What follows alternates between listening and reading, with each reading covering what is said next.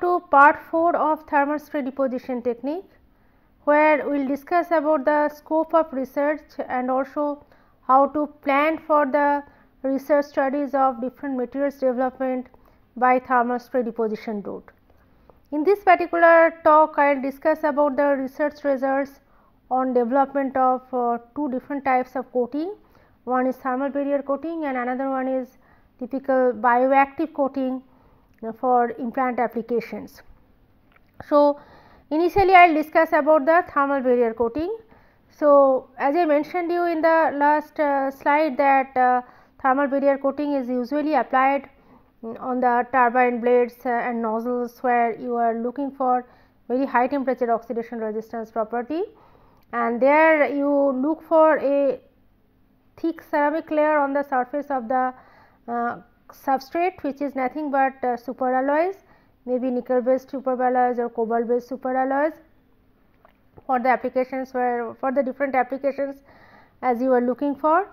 And uh, that coating is developed onto the surface of the uh, superalloy and uh, before that you apply a very thin bond coating uh, made of CoNiCrAlY um, which offers a high temperature oxidation resistance property and that uh, oxide based ceramics offer that uh, thermal barrier property or acts as insulating barrier for reducing the effective operating temperature of the substrate.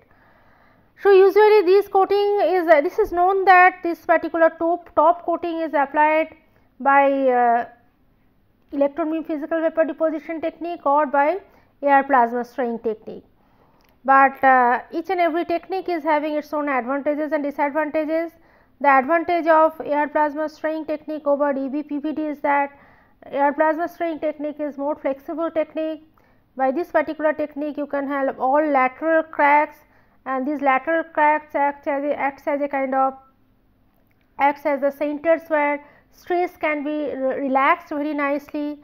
So, when the component is subjected to uh, like thermal stress that cyclic thermal stress then those stresses can be arrested very nicely on the typical um, plasma spread uh, defective part like lateral cracks whatever are present on the surface.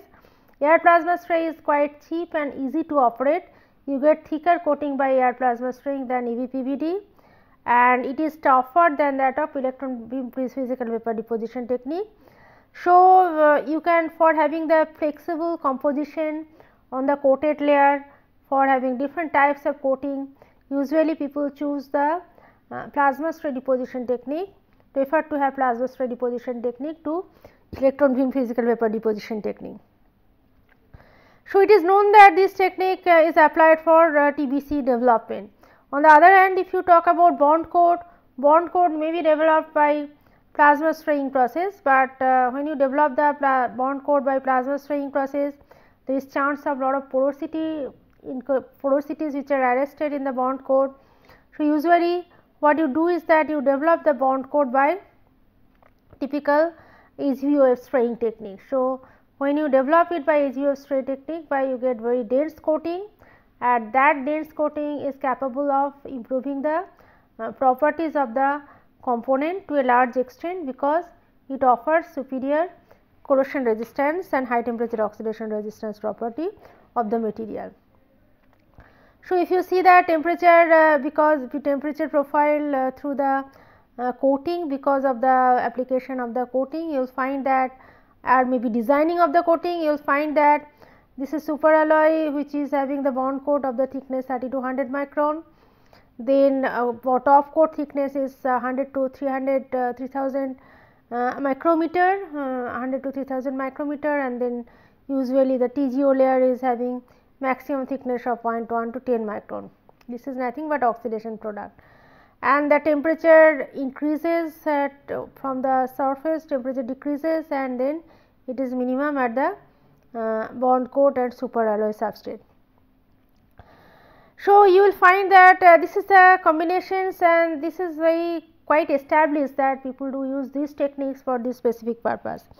Now, if you are interested to develop newer kind of materials for these thermal barrier applications or newer uh, varieties of coatings having tailored properties, then you have to choose of you have to think of choosing superior materials. So, superior materials in this regard include lanthanum stabilized uh, lanthanum stabilized zirconia or the composites of yttrium stabilized zirconia and lanthanum stabilized zirconia and also you can add different rare earth, rare earth element to a large extent in the bond coat and then prepare the bond coat of different completely different composition and then develop it by HVOF spraying technique.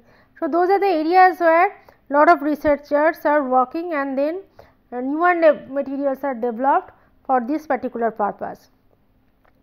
So, in this particular research studies we what we do I will say briefly explain or share some of our uh, research experience on the development of thermal barrier coating.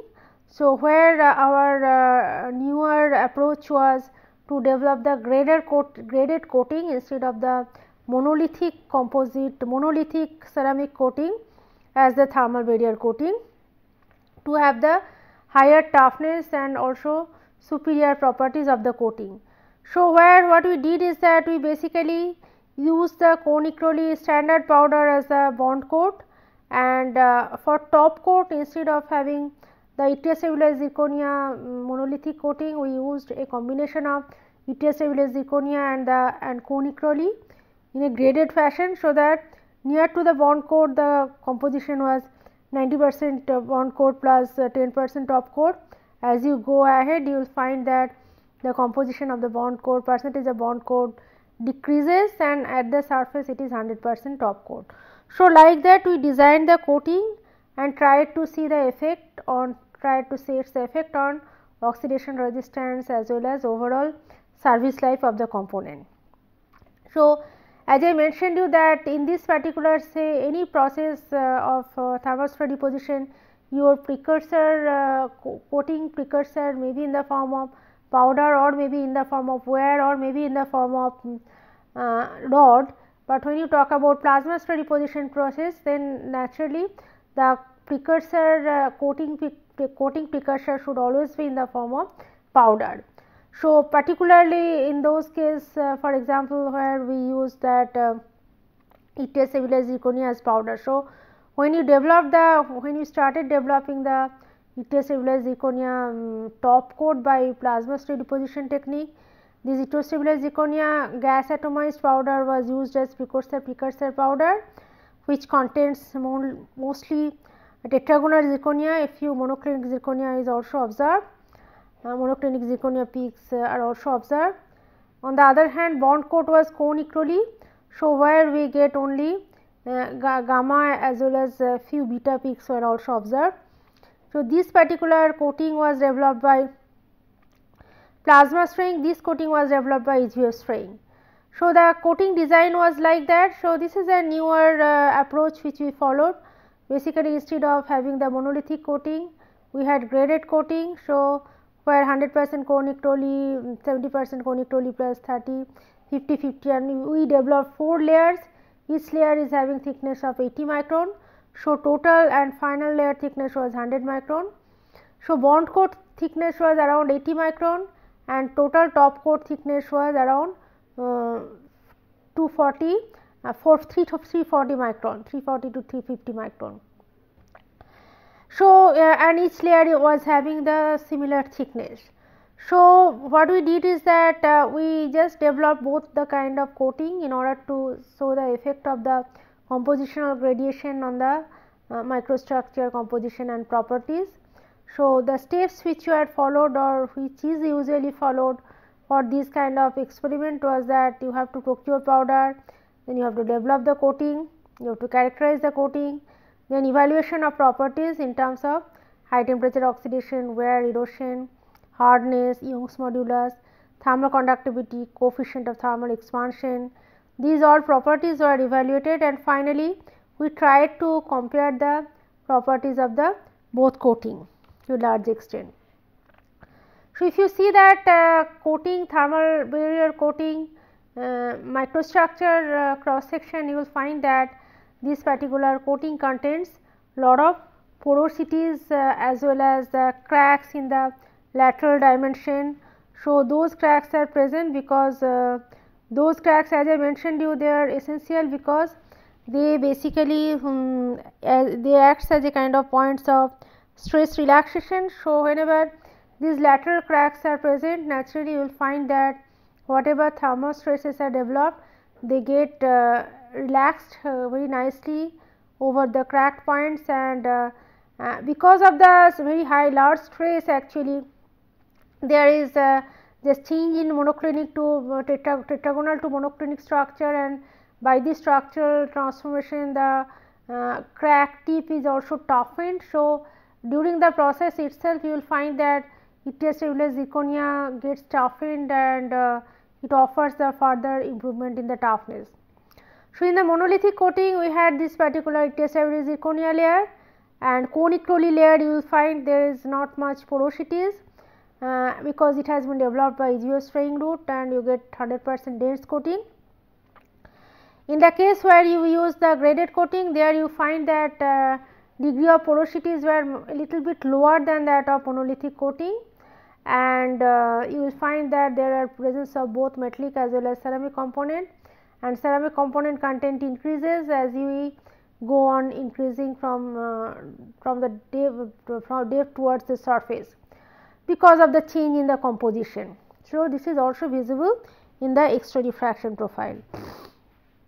So, you will find that uh, that cross section uh, when the uh, microstructure this kind of coating is subjected to high temperature oxidation you will find that there is a very thin TGO formation at the interface and TGO thickness is quite low hmm, and that TGO thickness in fact increases with temperature as well as time of the uh, oxidation. So, usually you observe the um, or maybe you see the performance of the coating when you do high temperature oxidation study and usually performance of the coating in terms of the microstructural change if you would like to see you will find that on the surface of the uh, coating you will find no uh, signature of the oxidation because that is already oxide layer and also mentioned you that that that particular ceramic layer or insulating layer or thermal barrier coating actually does not offer the high temperature oxidation resistance property,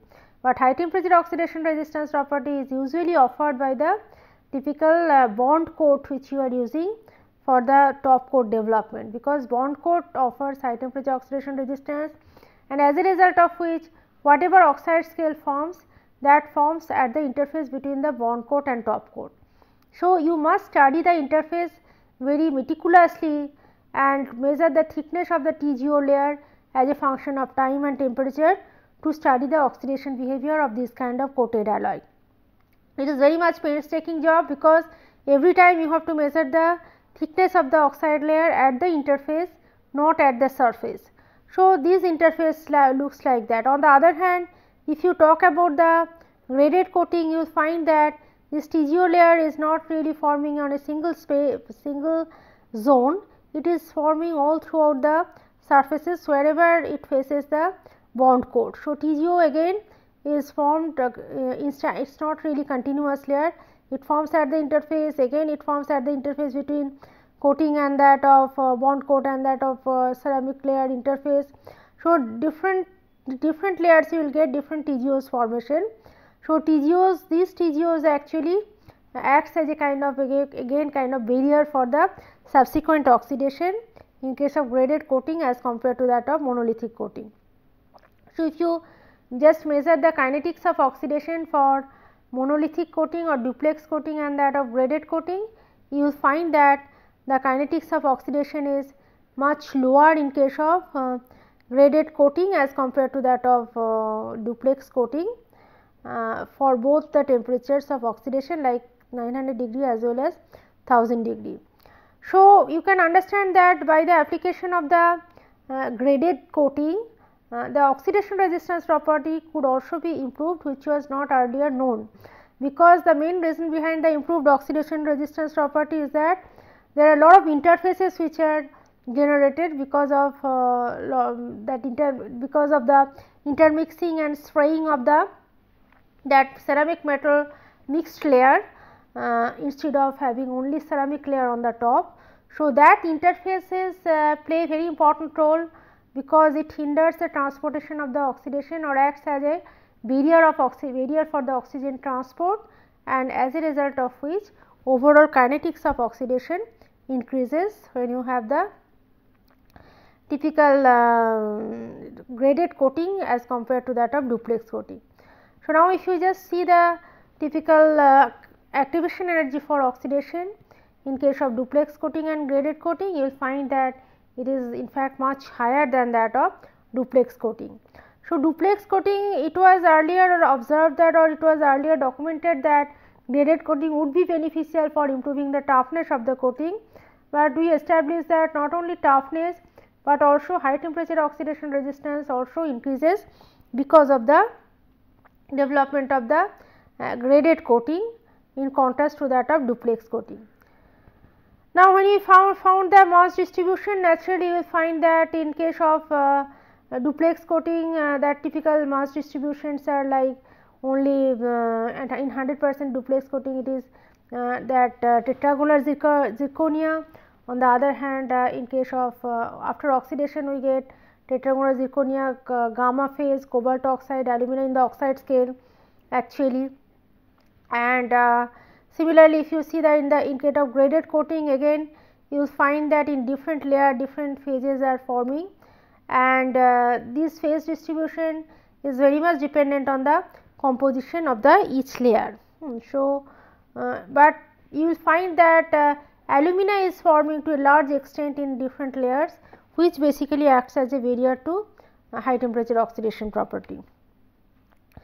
Now, if when we just measure the residual stress distribution in the different layer, we found that residual stress also changes to a large extent uh, in case of duplex, duplex as well as uh, graded coating. So, you will find that uh, in composition of graded coating, you will find that 100 percent YSZ residual stress is mostly uh, positive. On the other hand, as we go on increasing the metallic content of the coating, residual stress content residual stress value just uh, changes from tensile to compressive. So, metallic uh, incorporation actually also uh, helps in reducing the residual stress level not only reducing the stress level, but also changing the stress value from tensile to compressive. So, this is very much important because residual stress when is compressive naturally it helps in and improving the resistance to thermal fatigue, thermal shock resistance. So, now we propose the mechanism of oxidation where we propose that the presence of uh, metal oxide at the uh, metal ceramic interface acts as a barrier for counter ionic transportation and by that process it basically there are also a lot of spinel formation.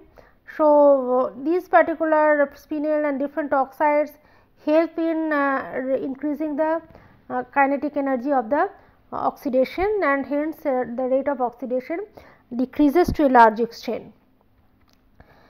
So, now uh, we can thus notable conclusions of that work was that the microstructure of the 100 percent YSZ coating consists of porosities and micro cracks which help in coating to be strain tolerant. However, the oxygen ingress is there which leads to oxidation of the bond coat on the other hand, when you have the combination of Cone-Crolles and YSZ, it reduces the uh, quantity of oxygen uh, transported towards the bond coat. Hmm. Kinetics of growth of TGO is parabolic in nature and activation energy of duplex and naturally because of the uh, gradation we could have the higher kinetic energy of the um, oxidation. And post oxidation analysis showed lot of spinels which actually help in uh, reducing the kinetic reducing the kinetics of oxidation further or increases the activation energy of the oxidation. And residual stress also is reduced to a large extent and changes from tensile to compressive because of the uh, gradation graded layer formation and uh, we also found that uh, the coefficient of thermal expansion and E value increases with increasing the Cone-Crolles content and uh, naturally it helps in reducing the stress level. So, like that we also tried to develop the ictiocellular zirconia and uh, ictiocellular zirconia and lanthana mixture and observe that this uh, composite coating offers superior oxidation resistance property than that of the typical duplex coating. Then another example I will show you that is uh, coatings for bioimplant application. So, this is a kind of bioactive coating this was applied on TI64 substrate.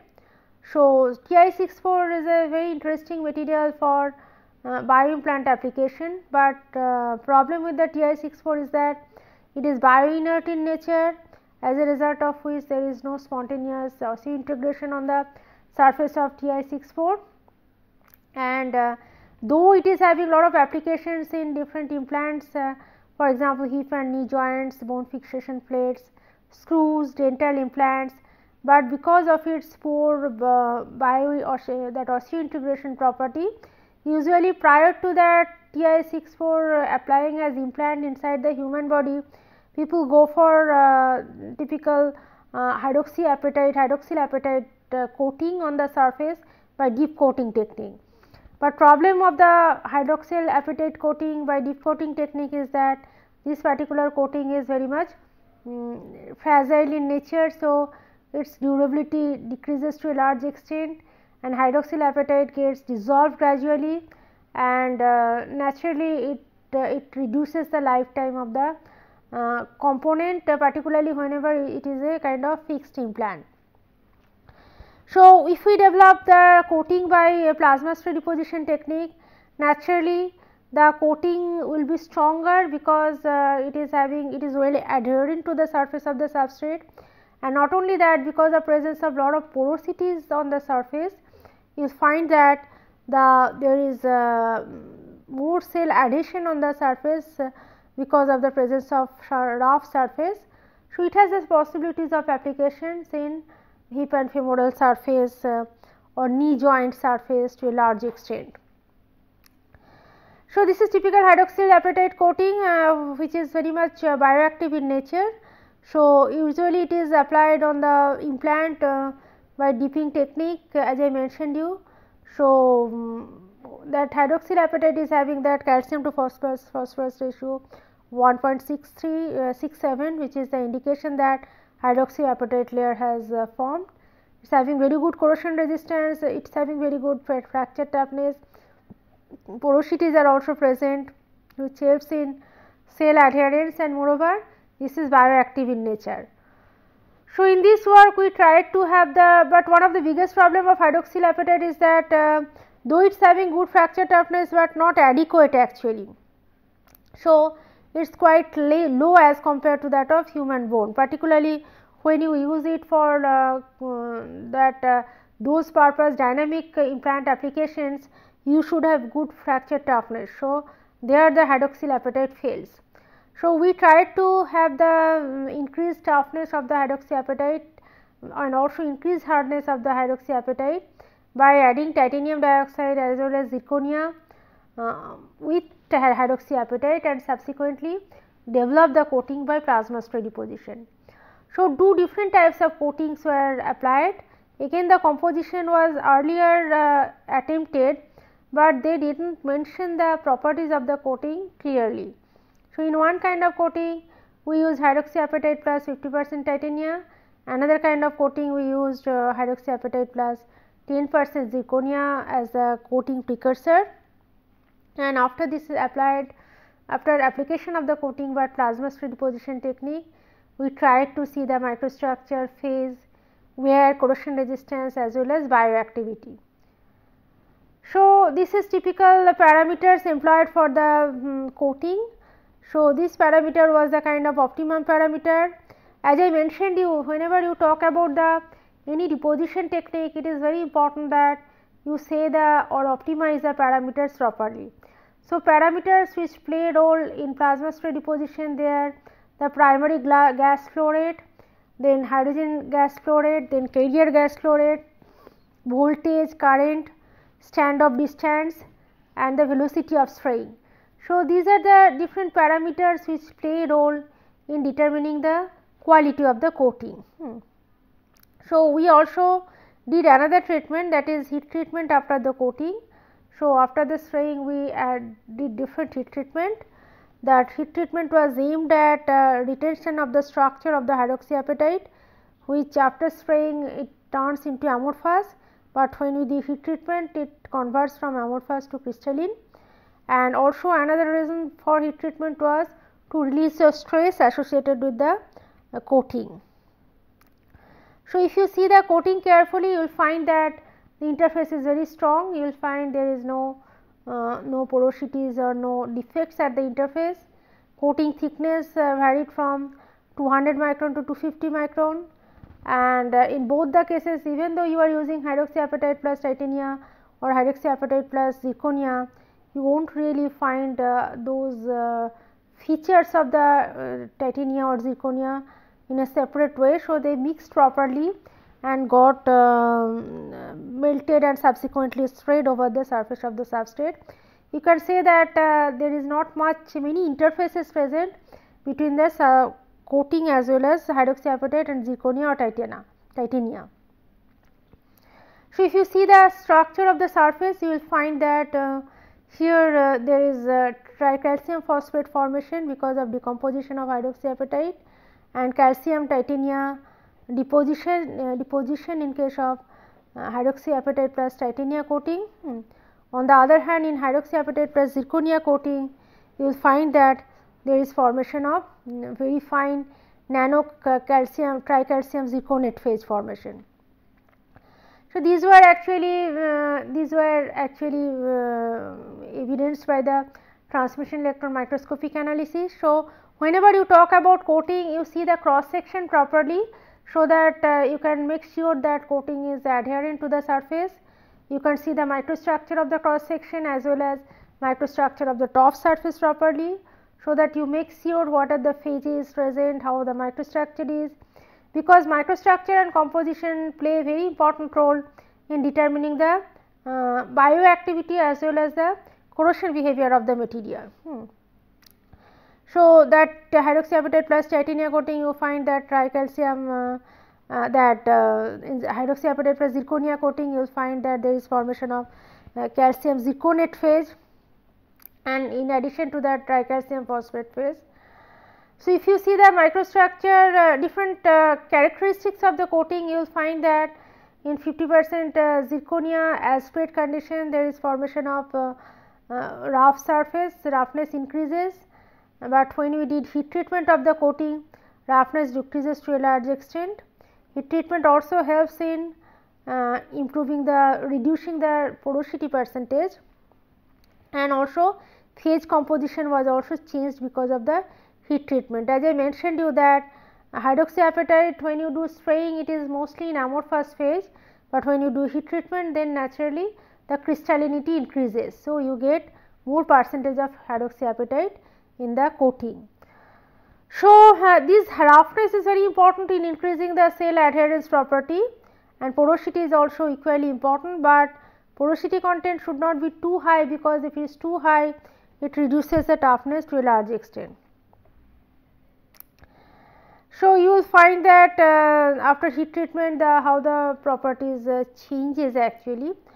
So, um, this is very important because uh, if you just go on doing this is the case for titanium plus uh, hydroxyapatite plus zirconia coating where uh, you observe that in the coating there are a lot of porosities and there is also calcium zirconate phase formation which is nano is in nature because uh, this phases is the uh, in situ formed uh, product. So, because of its in situ formation there are a lot of uh, very much nanostructured material on the surface which was again confirmed by transmission electron microscopic analysis. If you see the characteristics of the zirconia coating you will find that uh, again porosity and uh, that roughness again changes because of heat treatment and in cal calcium carbonate in hydroxyapatite plus zirconia coating you find that the degree of uh, amorphousness actually decreases to a large extent by heat treatment process. So, this is very important because it is having uh, the final effect on the corrosion resistance property. So, when we measured the wear resistance we found that because of that uh, typical hydroxyapatite uh, plus zirconia uh, deposition we get uh, significant enhancement in the corrosion uh, wear resistance property. So, because of the hardness achieved in the coated layer. So, you will find that when we did only hydroxyapatite uh, coating uh, there we found that uh, hydroxyapatite plus titania coating here there we found that not much enhancement in the wear resistance was there, but when we did hydroxyapatite plus zirconia coating after heat treatment we found that uh, that wear resistance increases. So, we could conclude that all coatings are not good for wear resistance applications or wear resistance enhancement. Similarly, we also found that whenever we did like uh, titania coating, titania plus hydroxyapatite coating and titania plus zirconia oxide coating, we found that uh, this, uh, this composite coating again not so good for improving the corrosion resistance property. But again you can understand that the titanium itself is having very good corrosion resistance. When you add hydroxyapatite naturally because of the dissolution the overall oxidation corrosion resistance property decreases but again the corrosion resistance enhancement was not the main purpose of this study. Main purpose of the study was to, to have the good fractured highly fractured surface to fracture toughness coating, coating with a very high fracture toughness and coating with uh, high, high level of bioactiveness. So, finally, we just summarize the different results we found that uh, the hardness wise the coating with 50 percent TiO2 and post heat treatment was having little higher hardness and but hardness enhancement was more when we added zirconia and Young's modulus was significantly reduced and 10 percent zirconia without heat treatment offered minimum Young's modulus because for this bioimplant application we do not need very high Young's modulus. Uh, in fact, lower the Young's modulus better is it closer is the uh, Young's modulus to that of human bone better is it. So, by this particular hydroxyapatite coating the Young's modulus was uh, around um, 80 to 85 GPa so which was reduced to 55 GPa. And if you talk about corrosion rate again corrosion rate was reduced uh, to a large extent not really to a large extent, but it was higher than that of it was much lower than that of only hydroxyapatite based coating and uh, pitting corrosion potential was also uh, not changed to a large extent. So, this kind of coating obviously uh, was not so beneficial in improving the corrosion resistance and wear resistance, though under certain conditions of coating we had very good corrosion resistance as well as very good wear resistance property. But main purpose of the coating was that to increase the bioactivity and have the uh, superior fracture toughness. So, when we did the bioactivity study we found that bioactivity behavior was uh, reported or maybe we analyzed the bioactivity behavior of this coating by knowing the percentage of the calcium phosphate deposited when dipped in Hank solution. So, we found that area fraction of apatite formation was increased by this coating because it is quite natural because you have hydroxyapatite in the coating hmm. and uh, that particular thing was continued and we finally tried to uh, optimize the heat treatment parameters and have that optimum composition to be that uh, 10 percent zirconia after heat treatment where wear resistance was enhanced as well as the bioactivity was also enhanced. But it is very much important that uh, even though it is improved, but still uh, we were uh, further studies are required to optimize it further so that we get very tough coating with the required properties as we desire. So, like that this is a kind of approach which can be followed for the development of the bioactive coating not only uh, on titanium, but other materials as well and for corrosion resistance, wear resistance uh, and also contact fatigue, fatigue uh, resistance enhancement for bio purpose and by different studies can be conducted to know the uh, behavior of the coating, performance of the coating to a large extent.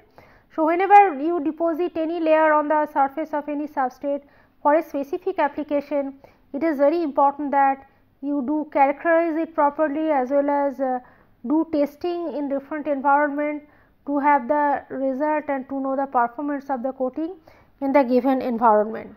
So, this is a typical application of this uh, particularly bioactive coating in for example, hip uh, replacement, hip joint replacement where we found that in the stem section some part is subjected to uh, very much in contact with human blood. So, there the um, cell adherence rate should be maximum. So, there if you develop this kind of coating naturally it will promote the cell growth and naturally the implant will succeed for a long time. So, finally, in summary we can say that in this particular four talks we discussed about the principle of thermal spray deposition technique, classifications and scopes, then applications and finally, two examples of the application of the thermal uh, deposition technique for uh, invention of newer technology or maybe development of newer kind of materials for different applications. Thank you very much.